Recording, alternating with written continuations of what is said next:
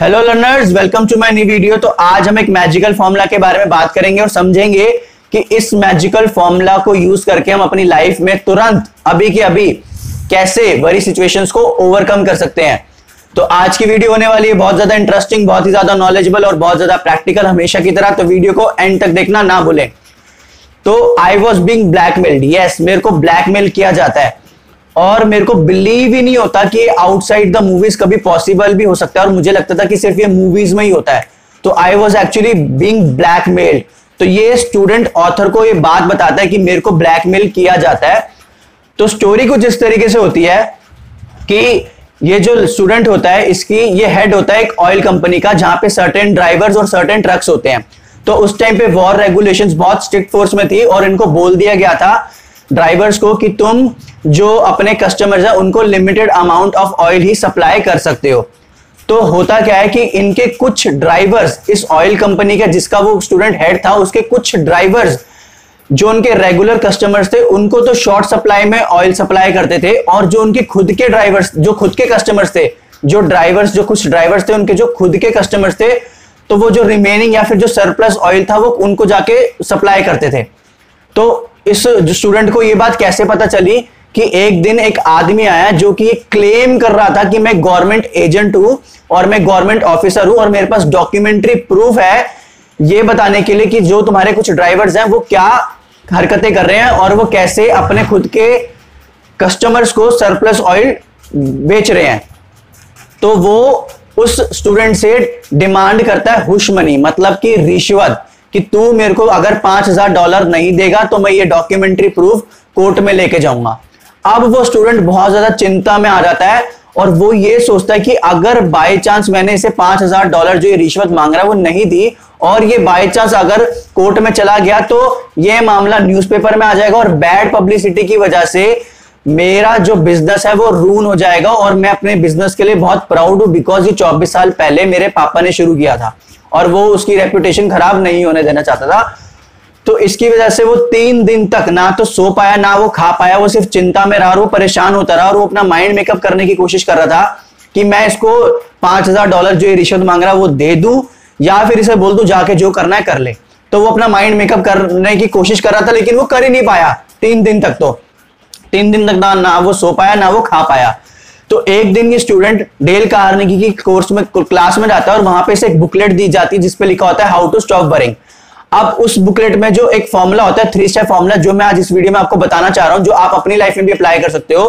तो पहला स्टेप होता है words the worst that could happen अपने आप से पूछो कि words the worst that could happen कि बुरे से बुरा क्या हो जाएगा?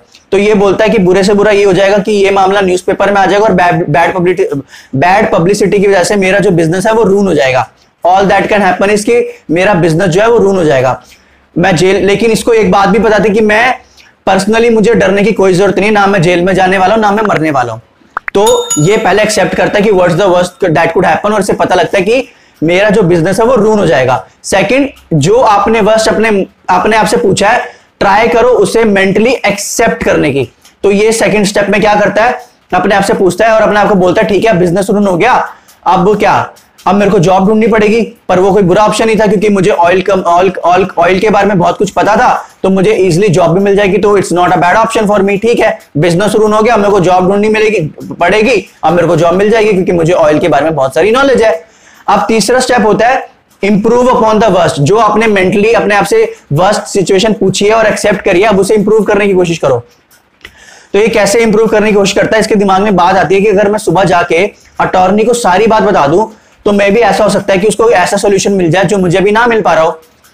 तो ये सोचता है कि यार, ये ट्राई करते हैं तो ये अपने लॉयर के पास जाता है अगले सुबह और इसका लॉयर जाके बोलता है कि अपने अटॉर्नी के पास जाओ डिस्ट्रिक्ट अटॉर्नी के पास और उसको सारी सिचुएशन बता दो। तो जब ये फिनिश होता है, अपनी सारी सिचुएशन डिस्ट्रिक्ट अटॉर्नी को बता देता है तो उसे ये पता लगता है कि ये रैकेट जो ब्लैकमेल रैकेट है, ये बहुत टाइम से चल रहा था और ये बदमाश को पुलिस की तलाश थी।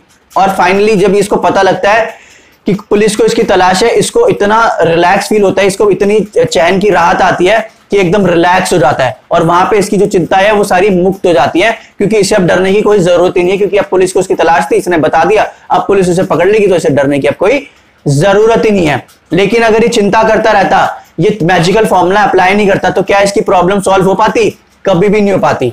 तो अगर आप आप सोच रहे हो कि अगर आप रिलेशनशिप में हो तो आप इस चीज़ को कैसे अप्लाई कर सकते हो? तो लेट सपोज़ आपका बॉयफ्रेंड या आपकी गर्लफ्रेंड आपको ब्लैकमेल करते हैं, या आपको धमकी देते हैं कि मैं तेरे को ब्रेकअप कर दूँगा, तुझसे ब्रेकअप कर दूँगा तो आप ये मैजिकल फॉर्मूला अप्लाई कर सकते हो। आप अपने आप से पूछ सकते हो कि बुरा से बुरा क्या हो जाएगा? अगर ये मुझसे ब्रेकअप कर ले तो। कि ये हो जाएगा कि आपको अकेला रहना पड़ेगा इसके बिना, जो कि आपके लिए मुश्किल होगा दैट्स ट्रू सेकंड आप मेंटली एक्सेप्ट करो कि ठीक है, मुझे इसके बिना रहना पड़ेगा तो ठीक है, मैं रहूँगा, या रहूँगी।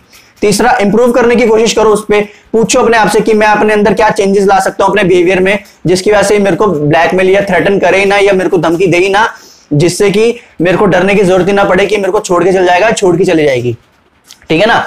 एक और सिचुएशन अगर मैं आपको बताऊँ लेट सपोज़ आपको डॉक्टर ने बोल दिया कि आपके सिर्फ़ दो हफ़्ते हैं ज़िंदगी जीने के लिए और दो हफ़्ते बाद आपका जो केस है वो इनक्योरेबल है और आप बच नहीं सकते। अब क्या करोगे? आप ज़्यादातर लोग चिंता में आ जाएँगे, परेशान हो जाएँगे, दिमाग खराब हो जाएगा कि दो हफ़्ते हैं, क्या करें? वो एक्सेप्ट ही नहीं कर पाएँगे। लेकिन अगर आप ये मैजिकल फॉर्मूला अप्लाई करोगे तो क्या होगा पहला? Words the worse that could happen is the case death second आप उसको एक्सेप्ट करो कि ठीक है डेथ है आप कोई ऑप्शन नहीं है। डॉक्टर ने कह दिया इनक्योरेबल केस है तो मरना ही है। और तीसरे में आप इंप्रूव कर सकते हो वर्स्ट पे कैसे? आप अपनी लाइफ के जो दो बचे हुए दो हफ़्ते उनको फुली एंजॉय कर सकते हो और आप अपनी लाइफ को दो हफ़्ते तक अच्छे से जी सकते हो। लेकिन आप चिंता करते रहोगे, दो हफ़्ते तक तो चिंता भी करते रहोगे, कुछ कर भी नहीं पाओगे और मौत तो फिर भी हो जाएगी।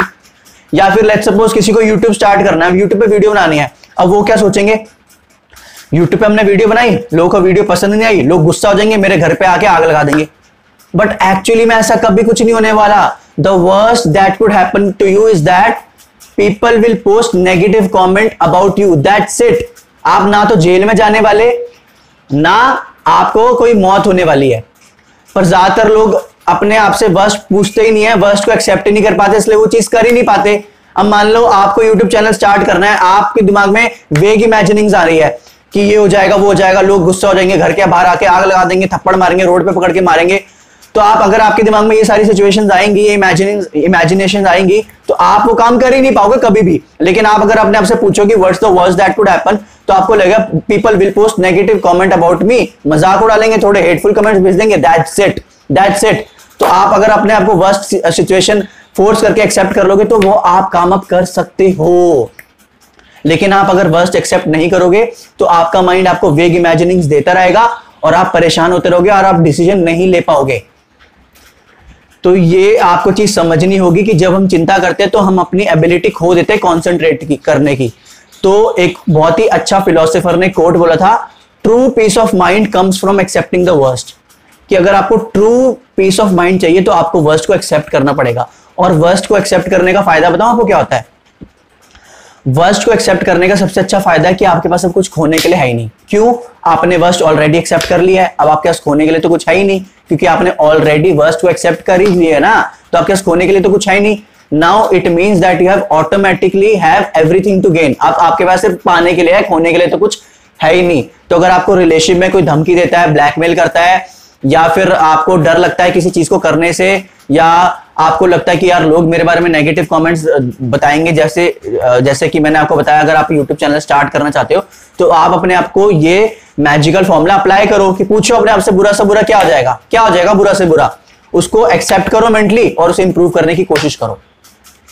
तो आशा करता हूँ, आज जो मैंने आपको मैजिकल फॉर्मूला ये थ्री स्टेप फॉर्मूला बताया ये आप अपनी लाइफ में यूज़ करोगे। अगर आपको इस फॉर्मूले से रिलेटेड या इस वीडियो से रिलेटेड कोई भी सवाल है कोई भी आपका फीडबैक है तो आप मुझे प्लीज़ कमेंट करके ज़रूर बताएँ। आपने मेरे को इतना कीमती समय दिया, उसके लिए बहुत बहुत धन्यवाद। Thank you so much bye bye